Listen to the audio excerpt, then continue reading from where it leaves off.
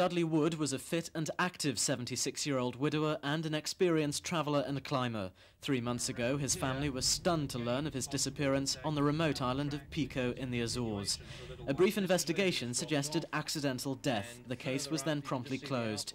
But Dudley Wood's son, who's visited the island twice, has strong suspicions.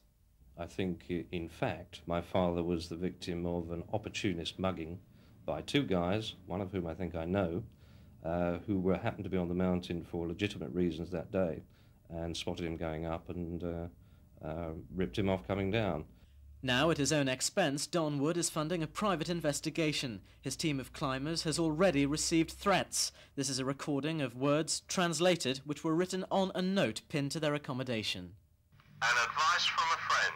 Why don't you get back to your job, construction, and leave some other things that could give you a pain in your head?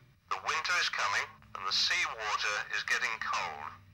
Mr Wood says he'll sustain pressure until the case is reopened. He's hoping the Portuguese authorities may even allow a British police team to investigate.